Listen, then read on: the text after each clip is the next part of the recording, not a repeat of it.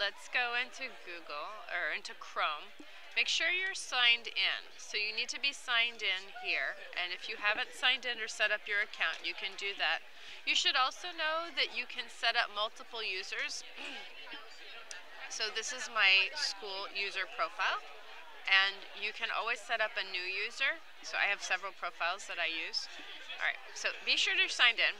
And the other thing you should check is in settings you should go down to show advanced settings and see where your downloaded content goes. You should know what folder this is. For me, I'm really happy with this placement, which is the default, but for you, it might be something completely different. So double check where your, where your default downloads go. All right, so we can close that. And now we're going to go to the Chrome store, which is a very cool place to discover all kinds of very nice things. And here we're going to look for the Google Images downloader. And there are apps up at the top, but that's not what we're looking for. We're actually going to look for the image downloader, and we're going to install it on our computer and add that.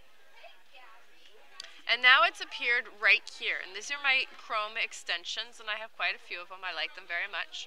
Um, but I've added this. So now let's go back to where we were before, which was we were on our list of images because we had dragged an image into Google image search and it generated this fabulous list of results of all the instances where this ad appears. Let's choose this con 10 controversial ads that wouldn't be allowed today. All right? And we're going to go to Google Images downloader. And it shows all the pictures on this page, but we're only going to choose some of them. We're going to choose this, this, this, and this is the one we were looking for in the first place. Okay.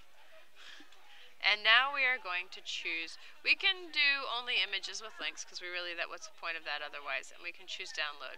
And now we get this little warning message here that says, um, if you've set up a default download location for Chrome, the files will be saved there. Otherwise, you will have to choose a save location for each file, which might open a lot of save dialogues. Are you sure you want to do this? And the answer for me is yes, because I went and checked to make sure that I had all my downloads going into the right folder.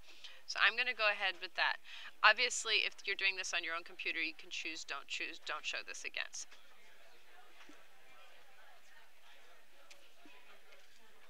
Now I'm going to go right here to my downloads and they are all there. Now on a Mac you can also check in your downloads folder and here they are and I can do with them what I choose to.